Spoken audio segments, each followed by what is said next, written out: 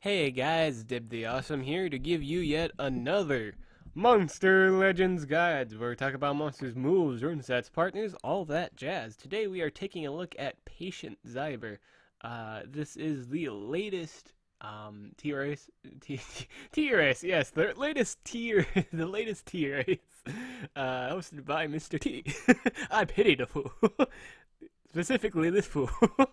uh, that was funny. Um, but anyway, uh, this is the latest Team Race monster, um, who received a huge, huge life, just one huge change, uh, but, uh, you know, a, a huge change, you know, I just kind of, like I was gonna say, one change, you know, one, you know, one small change, they wound up being a huge change.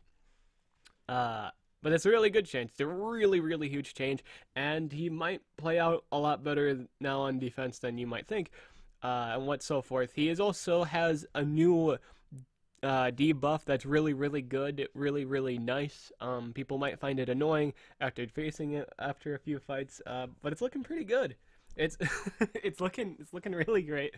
Uh, so this monster has a power of 3,388. No problemo. It's not a damage dealer. This thing should not be your main source of damage whatsoever. It is not a damage dealer. Uh, life 33,779. Pretty awesome life, especially for a monster that can go either in the team speed slot or your denier slot uh, or you know your support slot or whatever. You, usually in in Monster Legends, there's three roles. There is the denier, there's the damage dealer, and that last slot is usually whatever the person really wants. It's usually a support or a monster that's good all around. It's a well-rounded monster, or it's it's fine on its own, even if the other two monsters die. Uh, you know, usually Rainbow Rune monsters, strength, life, and speed on it. Uh, it's just overall not easy to kill, uh, or just another monster that that's high on damage quality, but again, not easy to kill. Uh, has really good traits, what have you. Uh, this is a really good life for it, uh, and this guy can fit into both uh, the you know this extra guy role of a, you know supporting with full team speed, or a denier role with just full speed runes. Uh, we'll get to again, we'll get to that. why he can run on full speed in a bit. It's part of his new change. Uh, again, really, really good change for him. It's a really, really good uh, buff. His speed is 3,531. Please take note of that speed. The law of ML states if thy denier is faster than yours, uh, the odds of me winning are higher. uh, as says by the common sense gospel of how speed works. if this monster's faster than this monster, then that monster might as well not have a kit because that uh, your monster's gonna just keep denying the enemy monster. Uh, pretty much. That's that's pretty much how the, the game works since the day dawn of man, like the dawn of this game.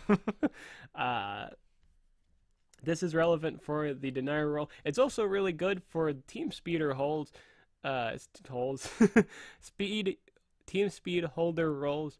Uh, simply because it has a really, really high natural base speed. So if it's in the same rank as another monster, if they're running the same team speed build, obviously your monster will go first, uh, unless you're fighting you know, duo of Patient Zyber, same rune builds on both parties, uh, then it's just a coin flip at, at that point, I would think.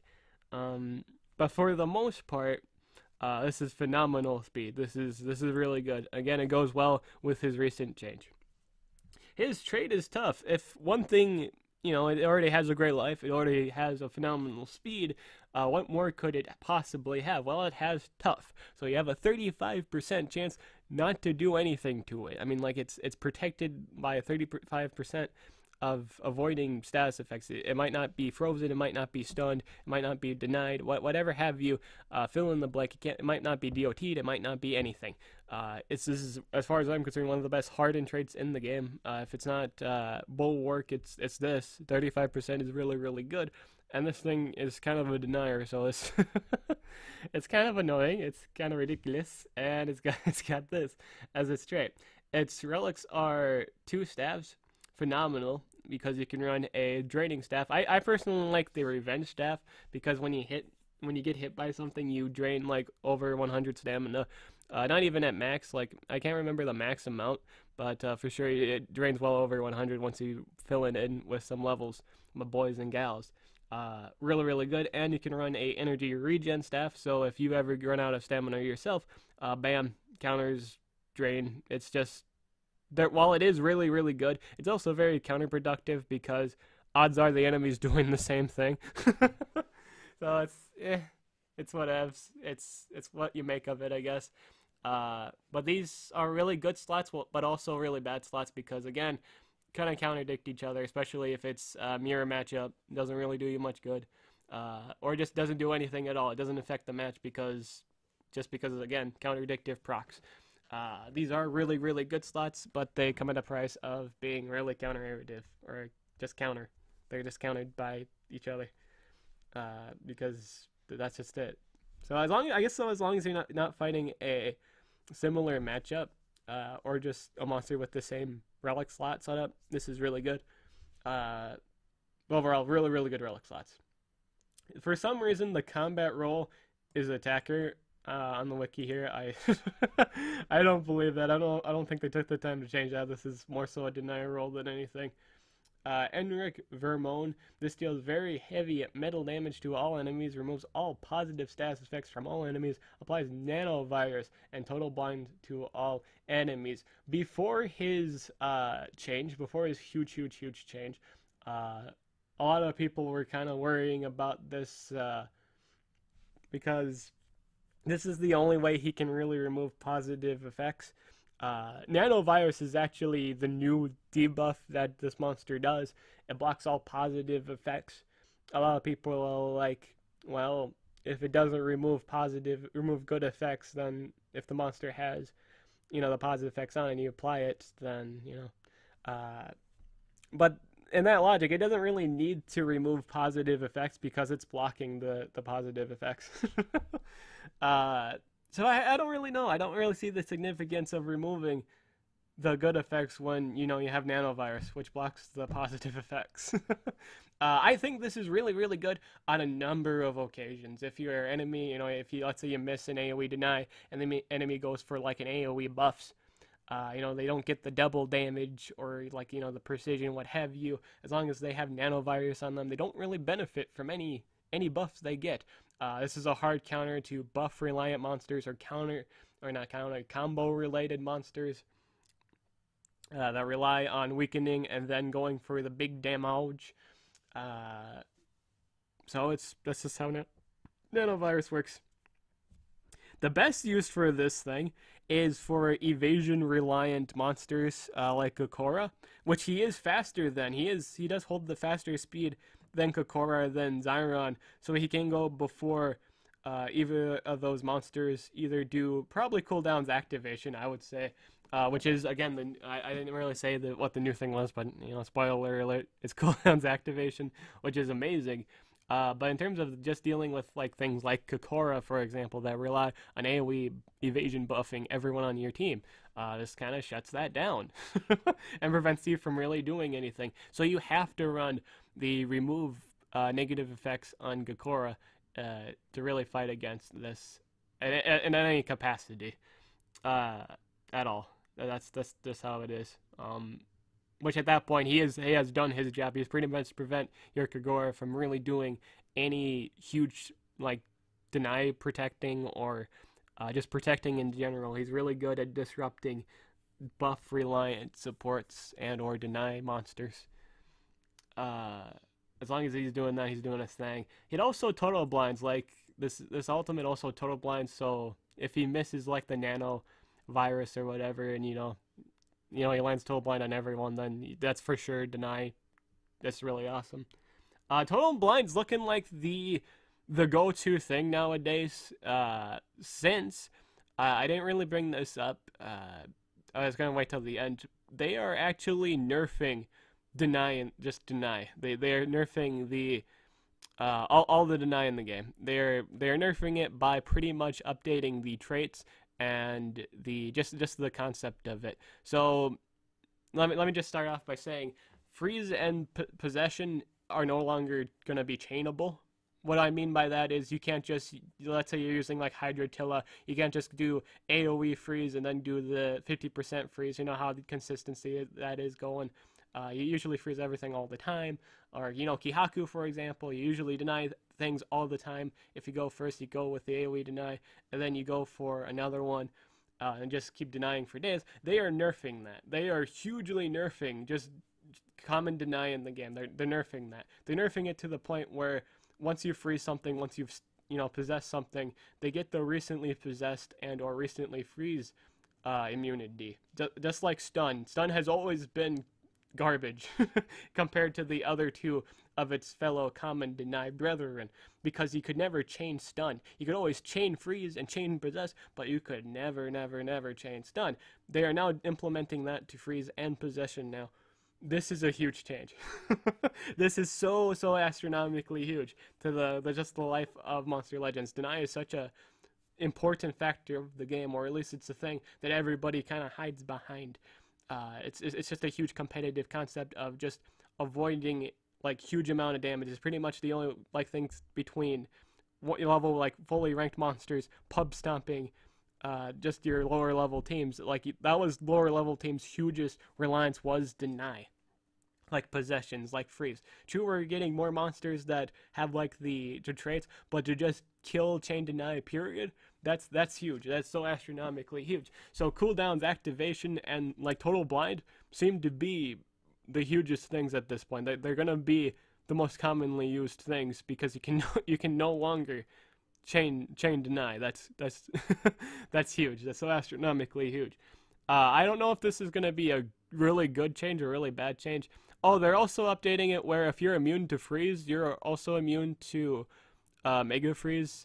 Same with uh, I don't I don't think I don't know if stun. I don't know if you're immune to mega stun. If you're immune to stun, I, I can't remember. I don't know if I, I remember reading this. Uh, I get this information from the forums, the Social Point forums. Uh, I saw it at, on a YouTube post from Emigbo, and I, I, I looked over it, and it seemed pretty huge. I think the things immune to stun now get immune to mega stun. Uh, too, you know, again, anything that's immune to, you know, you know, if you're immune to freeze, you're immune to mega freeze too. Uh, mountain monsters are actually immune to mega stun now. So how it was in the originally, it was immune to stun, freeze, and mega freeze. Now they're adding mega stun. So if you have necromancy and you're running Ingursus, well, Ingursus is just now not bothered by anything. So Zairon is Zairon is just kind of completely worthless against uh, Igursus. Uh, did I say Igneous? I can't remember. But uh, completely worthless against Igursus paired with Necromancy. She's just she can't do anything. She can't do anything to the giant. uh, so cooldown activation seeming like the the go-to plus total blind at this point. Unless there's a recently total blind buff in the future, or you know immunity that people are gonna get. You you already get it from Elvira. You get the blind AOE blind immunity, but there hasn't been a. Uh, I don't know if they they're gonna make it where if you're total blind, then you get like a total blind immunity or whatever. Uh, but that's that's just how it's looking at this point. Uh, mutated strand active deals very moderate special damage to one enemy. Activates all cooldowns on one enemy. This is a single target cooldown. I personally recommend it because hey, you never know when you need another cooldown activation on a you know a monster. You just don't want to ever have any time to use its high powerful skills. Uh, specifically Charmless and Zyrons, I would say, or any, anything cooldown heavy. Uh, so Sammy, you know, just just the big old huge nemesis monster names. Uh, they they hate getting their cooldowns activated. Warthog's not bothered by cooldowns activation, but I think every other Nemesis monster pretty much is. pretty much. Uh, Hydrotilla also kind of not bothered because uh, he does ha- hold the one turn cooldown AoE freeze, uh, which is really really awesome. Um, it's not it's not even a popular pick for you know just because it is it's really good for a situation again but again it's it's looking pretty good against pretty much all the high tier stuff at the moment even countering its own kind. It even counters pa- patient Zyber is the antibody of patient Zyber. You want to stop a patient Zyber? Use your own patient Zyber. Uh, make sure you go first. That's all that's the lo- again logic. Uh, so this is looking like a good skill run it. Uh, increased attachment. This deals moderate special damage to one enemy, applies nanovirus to one enemy. 3 turn cooldown, 35 damage, applies nanovirus. Not worth it. Reason being, it's a 3 turn cooldown. It's just not good. uh, it only does one enemy, and you're waiting 3 turns to use it again. I, I wouldn't run it. it. It doesn't look pretty good, my boys and gals. So don't run it. Uh, Epidemic Pathogen. This is his AoE cooldown. It's 30 damage, return cooldown, 24 stamina. I will say run it on all builds. It's your it's the new thing that was added to it. It makes him really really viable on full speed builds and on defense now. I'd run it. It's looking pretty solid, pretty spicy. Uh, however, um, this monster is hugely countered by the barrenness. Uh, just just straight up. so I, I can see in the future people mostly using like this on defense and people uh, don't be surprised if you wind up losing to someone running barrenness. That wouldn't surprise me.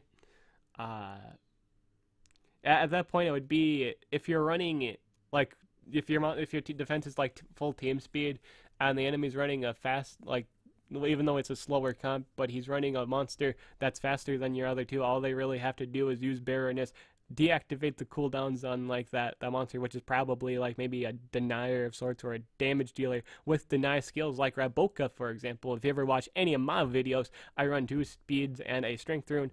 Uh, so if that enemy attacker that has deny can go before you know your other the enemy's other two monsters, or you know in this if it was the vice versa, your monsters, you know, uh, all they really have to do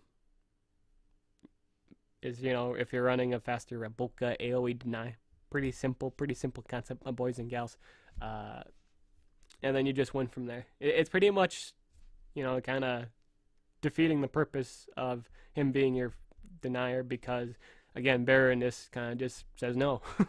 she just says, uh, no. uh, my, my guy's good to go. You, you don't really get to control anything. uh, just simply because of her being able to remove negative effects and applying uh, cooldowns protection.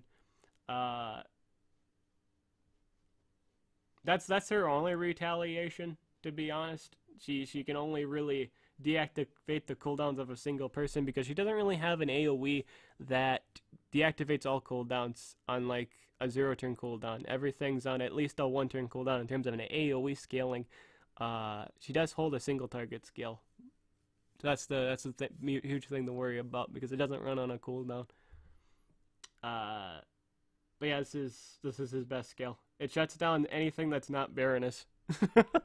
like anything that relies on cooldowns, it kind of shuts it down. Bacteriophagus. Uh, this removes all positive effects on one enemy and applies nanovirus to one enemy. I think this is relatively good, specifically for Elvira matchups where you just want something dead. Like a lot of comps just run like maybe team strength and they won't run like speed. They're just gonna run like really slow monsters and just focus on damage.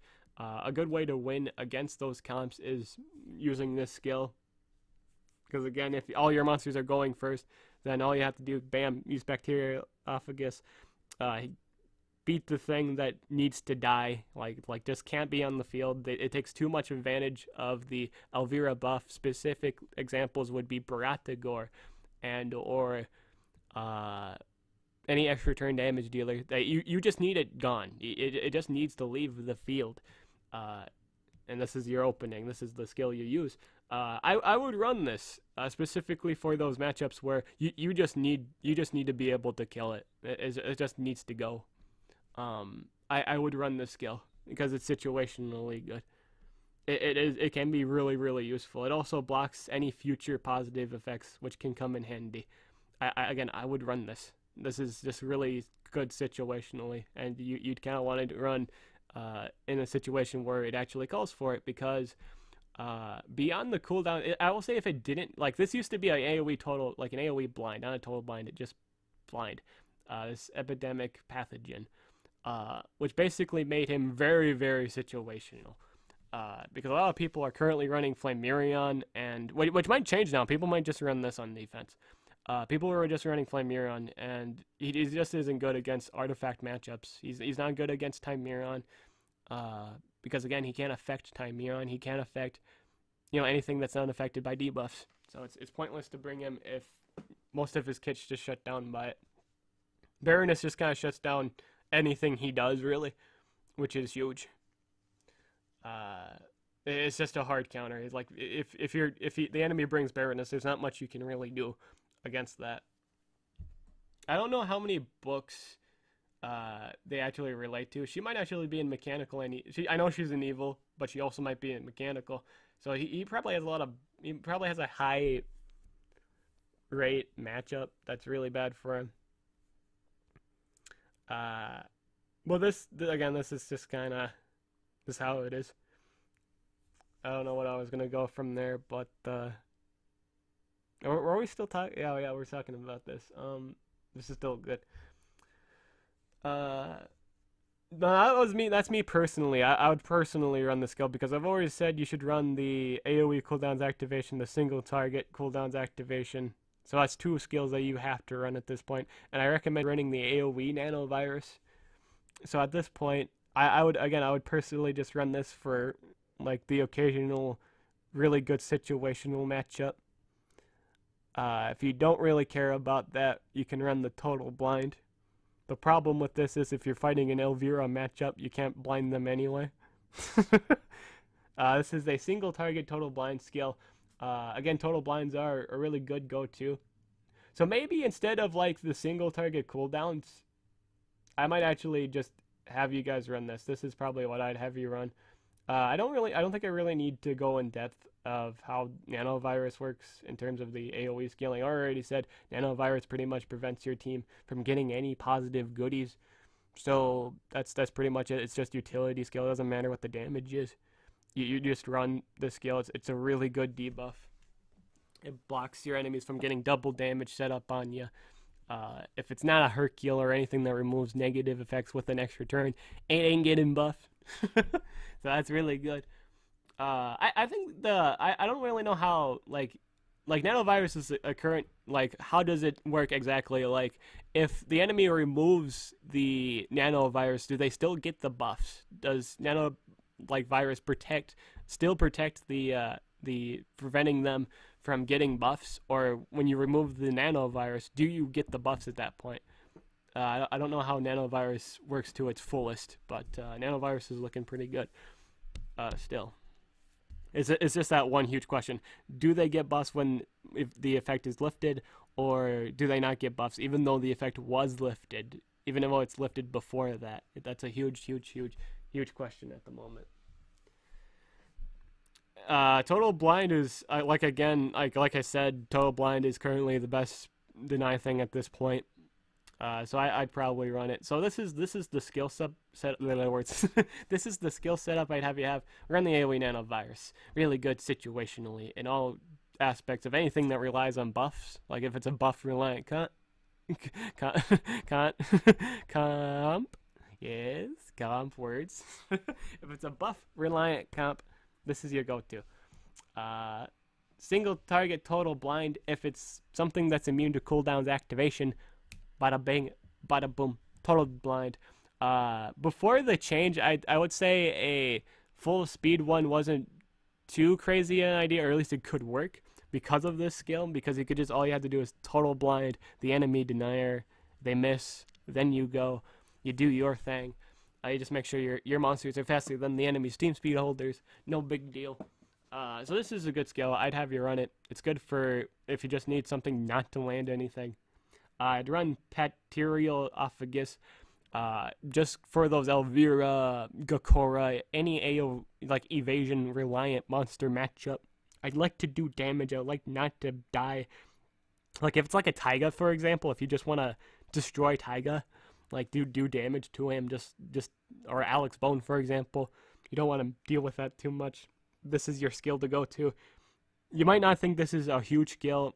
Give it a shot though do those matchups, you'll find them less annoying.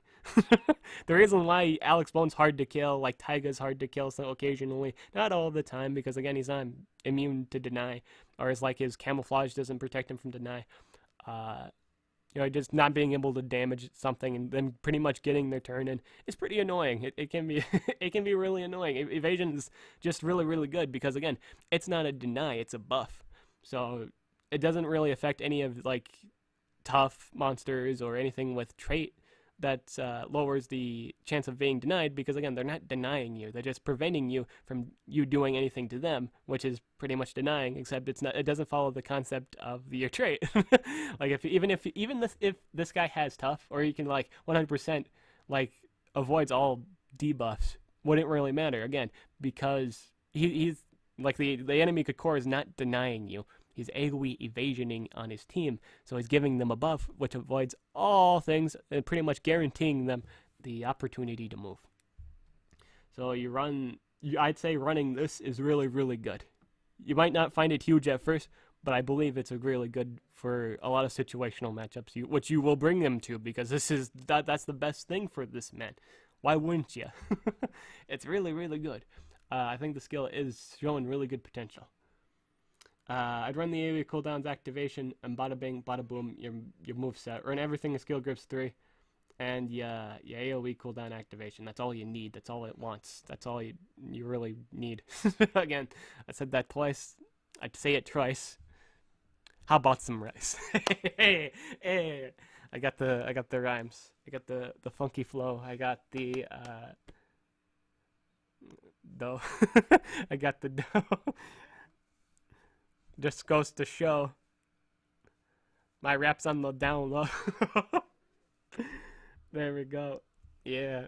Uh, overall, fantastic monster.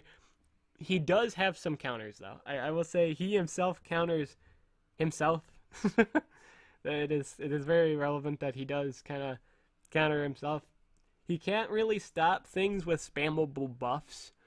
I think things with a spammable buff can kind of get around him in terms of like when I when I mean by the spammable buff is like it also removes negative effects. If any monster has like a spammable buff skill that also removes negative effects, eh, it might not. If nano if the nanovirus doesn't like block the new effect, then that's that's kind of huge.